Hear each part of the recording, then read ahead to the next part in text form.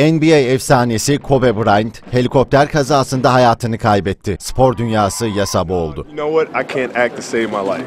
Oh. Kobe Bryant'ın şok eden ölüm haberini alan Los Angeles Lakers yıldızı LeBron James uzun süre gözyaşlarını tutamadı.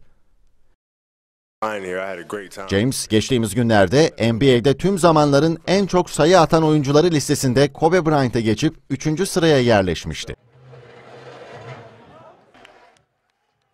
LeBron James maçın ardından Kobe Bryant'a övgü dolu sözler söylemiş ve ondan ilham aldığını belirtmişti.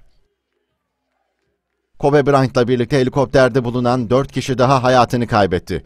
Bryant'ın 13 yaşındaki kızının da yaşamını yitirdiği öğrenildi. Los Angeles Polis Departmanı da sosyal medya hesabı üzerinden yaptığı paylaşımda helikopter kazasında kurtulanın olmadığını açıkladı. Helikopterin yoğun sis nedeniyle düştüğü ve düştükten sonra alev aldığı aktarıldı. Milli oyuncular Cedi Osman ve Furkan Korkmaz'ın da dahil olduğu NBA'de oynayan birçok basketbolcu Bryant'ın ölümü nedeniyle duydukları üzüntüyü sosyal medya hesaplarından paylaştı.